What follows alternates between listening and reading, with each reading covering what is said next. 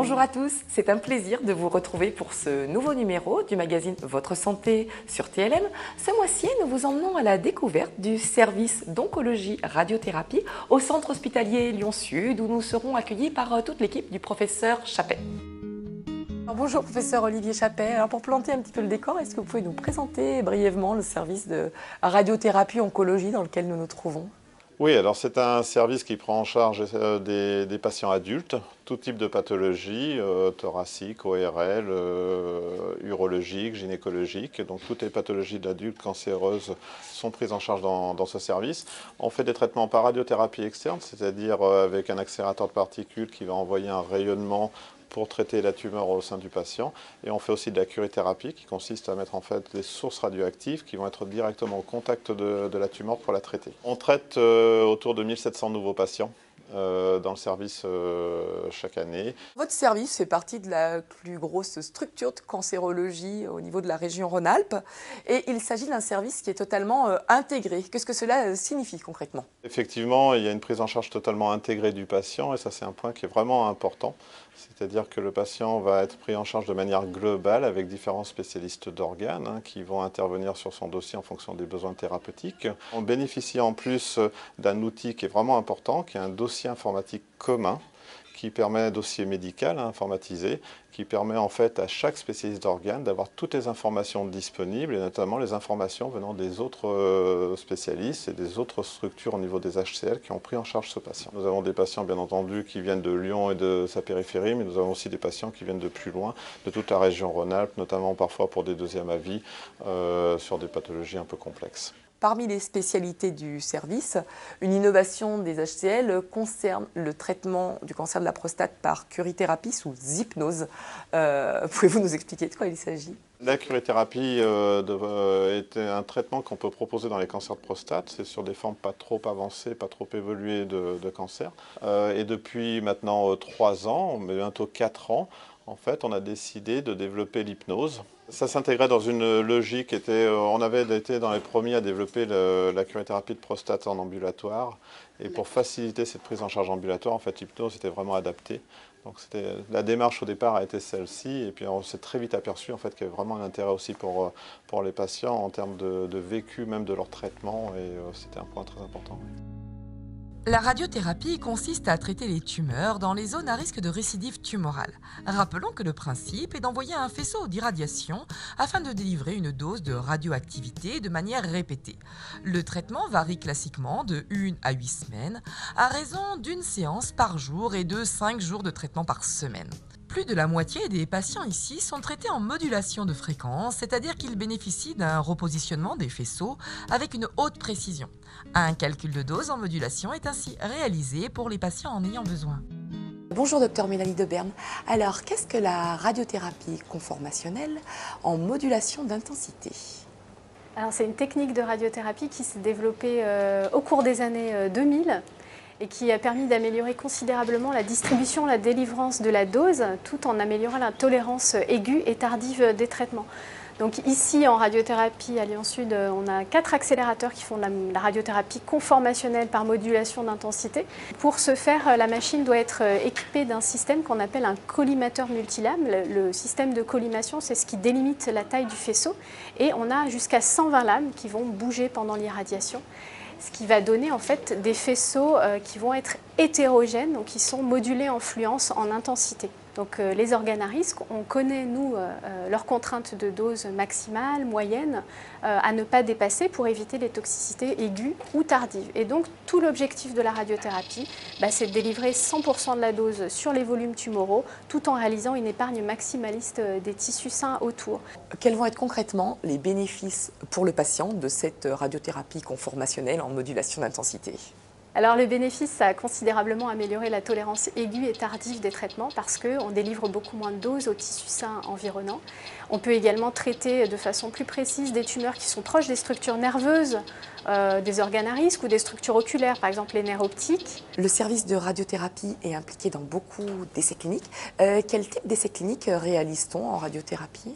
Donc ça peut prendre plein de formes différentes, soit en utilisant euh, une amélioration de la technologie de radiothérapie, on peut faire des escalades de dose, c'est-à-dire augmenter la dose pour, essayer d'augmenter le contrôle local. On peut également modifier le fractionnement de la radiothérapie, c'est-à-dire par exemple baisser le nombre de séances, notamment chez les sujets âgés et gériatriques plus fragiles. Également des essais qui visent à préserver euh, certains organes pour éviter une chirurgie euh, mutilante. Et on a également bien sûr tout l'aspect de euh, radiosensibiliser la tumeur, c'est-à-dire d'augmenter la sensibilité de la tumeur, des cellules tumorales à l'irradiation en y additionnant soit des nouvelles molécules, ça, ça, peut être par exemple des chimiothérapies ou des thérapies ciblées, ou encore plus dernièrement l'immunothérapie qui s'est beaucoup développée en cancérologie. Parmi les innovations au sein du service d'oncologie et radiothérapie figure la radiothérapie cérébrale. Comme on peut l'imaginer, il s'agit d'une zone où il faut être extrêmement précis, puisque le cerveau est l'un des organes particulièrement complexes de l'organisme. On a alors recours à la technique de stéréotaxie cérébrale, qui peut s'apparenter à un GPS de haute précision à l'intérieur même du cerveau. Bonjour, euh, docteur Samiorn. Qu'est-ce que la stéréotaxie cérébrale? Pouvez-vous nous en expliquer le principe? Donc la stéréotaxie cérébrale, c'est un traitement de, très haute précision qui permet un ciblage des lésions, en l'occurrence euh, dans le cerveau. Euh, pour ça, nous avons fait l'acquisition sur les HCL en 2015 d'une machine dédiée, le Novalis euh, TrueMSTX, qui permet réellement ces traitements très ciblés. Donc sur le principe, pour ce ciblage, la, la, tête du patient est mobilisée à l'aide d'un masque semi-rigide, semi-rigide qui permet euh, d'immobiliser la tête du patient. Et il y a un système de caméras embarquées euh, à rayon X qui permettent un repositionnement inférieur au millimètre sur, euh, le cerveau, sur la, tête. cette précision permet à la fois de délivrer des très fortes doses sur les tumeurs, avec donc une meilleure efficacité, et inversement, de délivrer des très faibles doses en périphérie au niveau des tissus sains avoisinants, ce qui permet de limiter les effets secondaires. Et le traitement peut être fait en moins de séances jusqu'à même des traitements en une seule séance. On parle de radiochirurgie, euh, où le, traitement est quasiment équivalent à, la même efficacité que le bistouri du chirurgien. Est-ce qu'on peut dire que cette euh, technique apporte des solutions nouvelles euh, là où on n'avait plus d'espoir? Cette précision ouvre aussi la porte à des traitements plus ciblés, donc des retraitements ou euh, le traitement de, lésions mal situées au contact de, zones vraiment sensibles du cerveau. Damien Decran a eu la chance d'assister à une séance de radiothérapie sous stéréotaxie cérébrale sur l'appareil Novalis. Reportage.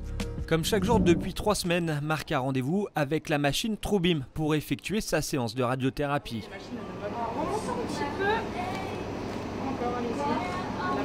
C'est bien une quinzaine de centimètres. C'est en juillet dernier que les premiers symptômes sont apparus. Des difficultés à déglutir, puis l'apparition de grosseurs au niveau de la thyroïde. Le scanner révèle la présence de tumeurs au ganglion et à la thyroïde. Le 20 juillet, Marc est opéré. parce que j'avais pas le choix. Il y a des gens qu'on ne perd même pas. Moi, j'ai eu la chance d'être opéré. J'ai pas d'extension euh, de métastase ailleurs. J'ai eu une ablation euh, totale de la thyroïde, curtage ganglionnaire. Suite à ça, ils ont fait donc des prélèvements. Euh, ces prélèvements ont, détecté que donc euh, j'ai été atteint d'un cancer, si je me souviens bien le terme, c'est anaplasique, qui est un cancer rare, sévère et relativement virulent. Marc est alors contacté par le service oncologie de l'hôpital Lyon-Est. Un protocole médical est mis en place pour traiter le cancer de cures de chimiothérapie et des séances de radiothérapie. C'est un peu compliqué parce que je suis claustrophobe, donc vous avez vu tout à l'heure dans la salle qu'on me pose un masque. Donc ça nécessite quand même une, accommodation à ce, masque, surtout au début. Donc là, ça commence à aller un peu mieux. Qu'est-ce que ça me fait? Alors, euh, moi, je dirais que pendant le traitement, je ne ressens pas grand-chose. Hein. Vous avez vu, c'est assez rapide. Je ferme les yeux, donc et puis avec le masque, je ne peux pas tellement les ouvrir, donc je ne vois pas grand-chose. Mais bon, j'entends la machine qui tourne autour de moi.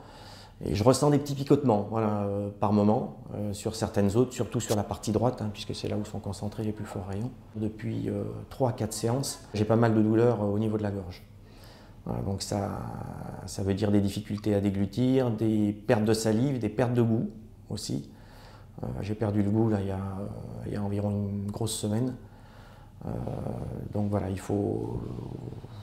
Les, médecins sont assez attentifs à tout ça parce qu'il ne faut pas que je perde de poids bien entendu. Euh, donc voilà, donc ils ont mis en place un traitement pour éviter les douleurs, qui marche plus ou moins en fonction des douleurs. Hein, ça c'est toujours pareil, mais bon, là j'en suis qu'au à peu près au tiers des séances. Hein. J'ai dépassé le, tiers des séances, plus, plus deux à peu près.